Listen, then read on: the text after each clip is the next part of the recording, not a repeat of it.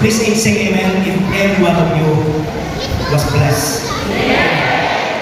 I was blessed.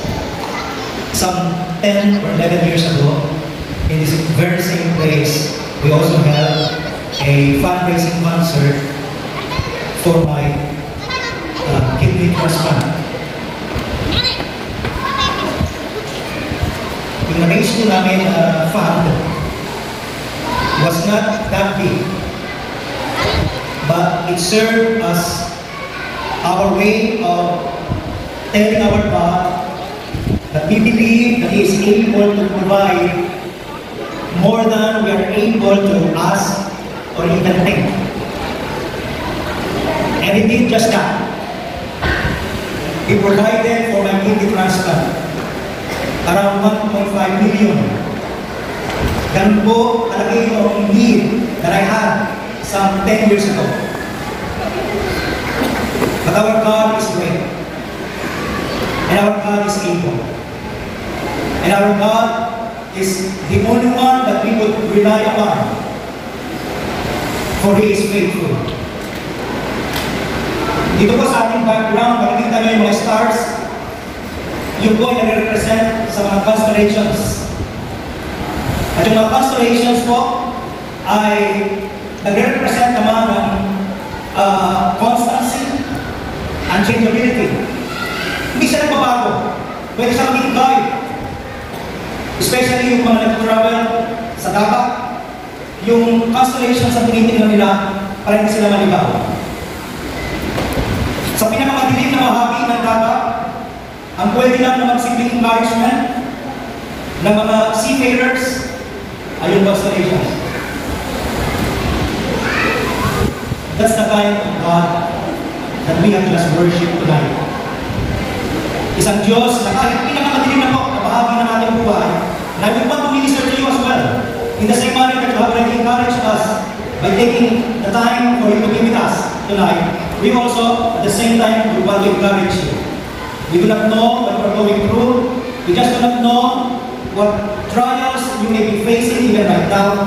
But we want to encourage you with the wonderful truth, the unchanging truth that this God is indeed great in His faithfulness.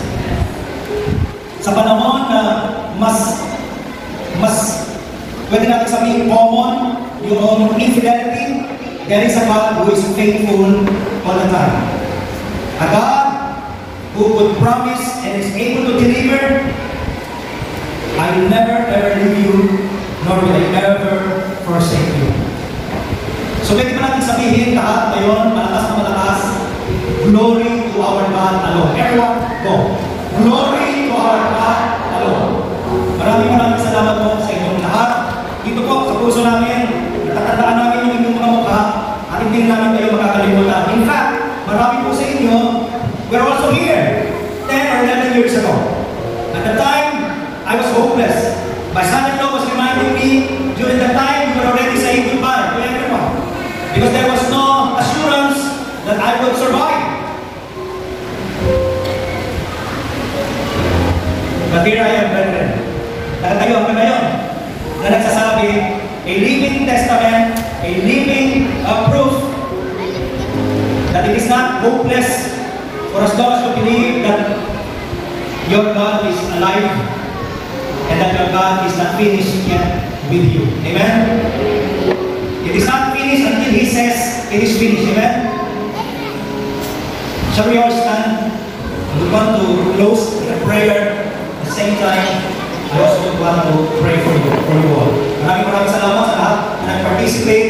Ito po, again, in, deep in our heart, kami po ay sobrang-sobrang nagpapasalamat. Karamihan po doon, mga dati natin estudyante, ito yung current ones, ang you, ang Diyos po ay napakabuti sa buhay ng bawat isa sa atin. Let's go to the in prayer. Let's bow our heads, let's close our eyes, and let's pray. A gracious and Heavenly Father,